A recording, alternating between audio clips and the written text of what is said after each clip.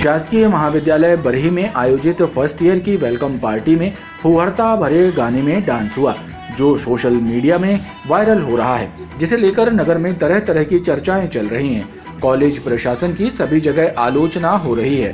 Social media में viral video के गाने को सुनकर हर कोई शर्मसार हो रहा है। इस पार्टी में कोरोना संक्रमण को लेकर जारी गाइडलाइन का पालन नहीं किया गया। पार्टी में शामिल स्टूडेंट्स मास्क भी नहीं लगाए थे और सामाजिक दूरी का भी पालन नहीं किया गया।